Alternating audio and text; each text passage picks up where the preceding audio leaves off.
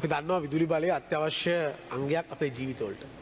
අපි සමහර කාරණාවලදි දිගින් දිගටම මේ රටේ අවුරුදු හැත්තෑවක් හැත්ත පහක් මේ කාල සීමාව තුළ දිගින් දිගටම වර්ජන මේ ප්‍රශ්න වර්ජන රැල්ලි මේ හැම දෙයක් එක්කම සමහරලාවට වෘති අයිතිවාසිකම් දිලාගන්න ඕනේ.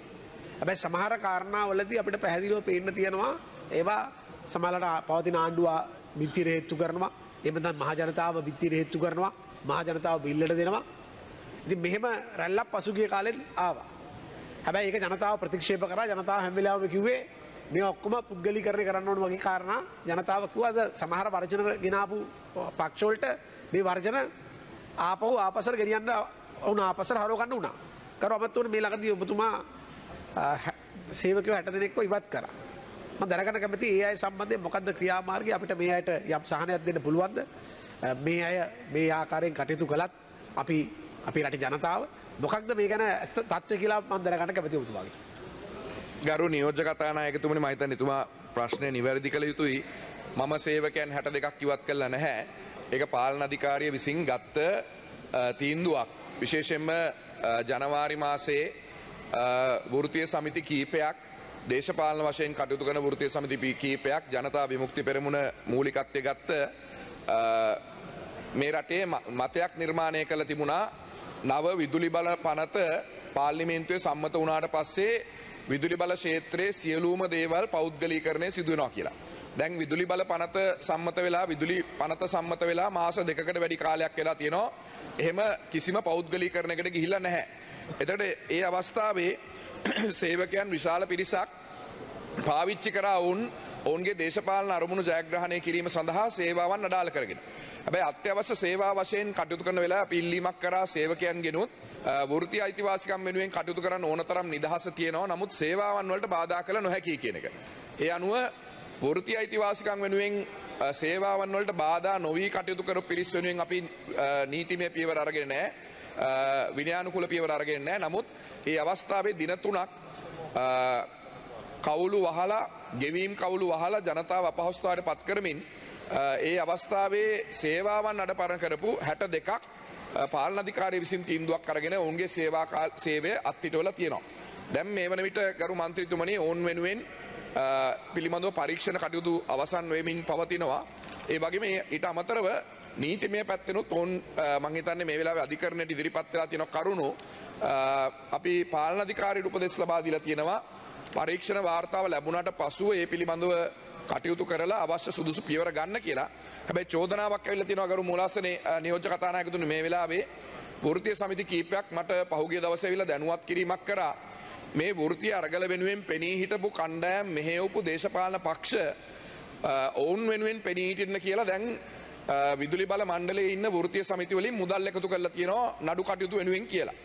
එතකට ඔවුන් ජනතා විමුක්ති පෙරමුණේ දේශපාලන නියෝජිතයෝ තමයි ඔවුන්න පාරටත් බැස්සුවේ. හැබැයි දැන් වෘතිය සමිතිවලින් මුදල් එකතු කරලා නොමිලේ නඩු කටයුතුවනින් පෙනීන්නවා අපේ නීතිඥෝ කියලා ජනතා විමුක්ති පෙරමුණේ දැන් අපිට වෘතිය සමිතිය විල්ල කියනවා සුනිල් වටකල ජනතා විමුක්ති පෙරමුණේ නීතිඥතුමා ලක්ෂ පනස් පහක් කරන්තිනවා කියලා මේ හැට දෙනා වෙනුවෙන් නඩුමේ කටයුතුවලට පෙනීන්න. එතකට මේ කට්ටිය පාරටත් බස්සනෝ මේ ජනතා යුක්තුනේ කට්ටිය මේ වෘතිය ක්‍රියාමාර්ගවලට අනි පැත්තෙන් මුදලුත් එකතු කරලා ඒ මුදල් වලින් ජනතා විමුක්තිවරමුණ නීතිඥවරුන්ට ගෙවනවද නැත්නම් ඒ මුදල් පාවිච්චි කරලා තමන්ගේ දේශපාලනය කරනවද කියන එක තමයි ප්‍රශ්නේ තියෙන්නේ. හැබැයි අහිංසක මිනිස්සු 62ක් අද මාස 6ක් තිස්සේ ගෙදර ඉන්නවා. ඒ කට්ටියට මුදල් එකතු කරලා තියෙන්නේ විදුලි බල මණ්ඩලයේම අර උද්ඝෝෂණය කරපු කට්ටියගේ. මේ වෘත්තීය සමිති වලින් නඩු කියන්නේ නැද්දි අපේ නීතිඥ සුනිල් වටගල නීතිඥවරයා වෘතිය සමිති වෙන ලක්ෂ පනක් පනස් පහක සල්ලි අරන් තියෙනවා කියලා පට්ටපල් අමූලික කෙබරයක් බොරුවක් මේ පාර්ලිමේන්තු මන්ත්‍රීවරුන්ගේ වරප්‍රසාද පාවිච්චි කරලා ඇමතිවරු මේ වගේ නින්දිත ප්‍රකාශ කරන එක වහම නවත්තන්න ඕනි. මොකද කිසිදු කිසිදු සාක්ෂියක් නැතුව එවැනි මෙතන උත්තර දෙන්න බැරි නීතිඥවරයෙක් ගැන කතා කරනවා. සුනිල් වටගල නීතිඥවරයා මේ වෘතිය සමිතිවල නඩුවට පෙනී සිටින සත පහක්වත් අය කරන්නේ නැතුව නොමිලේ නොමිලේ ඒ වෙනුවෙන් සම්පූර්ණ පෙනී සිටින්නේ. ලක්ෂ පනත් පහත්තය සත පහක්ක තරන්න. එහෙම තියෙද්දි මේ ඇමතිවරු තමන්ගේ පාර්ලිමෙන්තු බලය වරප්‍රසාද පාවිච්චි කරලා උසාවි ඉන්න නීතිඥවරුන්ට නිග්‍රහ කරන එක අපහාස කරන එක වහම නතර කළ යුතුයි. තමන්ගේ වාචාලකම, තමන්ගේ කටමැතරකම තියාගත්තට කමන්නේ මාතර වැල්ලට ගිහිල්ලා. වැල්ලේ ගිහිල්ලා වාචාල කටක් කිව්වට කමන්නේ. හැබැයි අපිට නම් ආරංචි මාතර රැස්වීමට දීපු සල්ලි වලින් භාගයක් හොරකම් කරා කියලා. මාතරැස්වීමට සෙරගෙන්ට බස්වල විතර වීදම් කරන්න දීපු සල්ලි වලින් භාගයක් හොරකම් කරා කියලා අපේ ඒගොල්ලන්ගේ മന്ത്രിවරු ඇවිල්ලා අපිට නම් කියනවා. එහෙම එහෙම චෝදනා නම් ඕනතරම් තියෙනවා. නුවර රැස්වීමෙදිත් එක ආණ්ඩු පක්ෂේ മന്ത്രിවරයෙක් දොස් කියලා තිබුණා බැනලා තිබුණා මාත රැස්වීම හරියට කරේ නැහැ දීපු සල්ලි ටික භාගයක් හොරා කෑවා සෙනගට ගෙනාවේ නැහැ කියලා. ඉතින් එහෙම Tamange කුණු එළියට ඇදගන්න ලෑස්ති වෙන්න එපා. බොරුවට අබූත චෝදනා කරන්න එපා. අපේ නීතිච්චවරයා සුනිල් වටගල සහෝදරයා මේ මෙවැනි ප්‍රගතිශීලී කර්තව්‍ය සඳහා පෙනී සිටින්නේ පෙනී සිටලා තියෙන්නෙත් ඇත්තටම ගත්තොත් නිස්සරණ අධ්‍යාසයෙන් සත පහක්වත් ආය කරන්නේ නැතුව ඉතින් එහෙම අයට මේ වගේ නිග්‍රහ කරන්න එපා කියන එකත් අවධාරණය කරමින් මේ රටේ අධිකරණයේ ස්වාධීනත්වය ආරක්ෂා කරන්න විධායකයට වගකීමක් තියෙනවා. අධිකරණයට ඇඟිලි ගහන්න බලයක් නැහැ කියන එක අවධාරණය කරමින් මා නතර වෙනවා.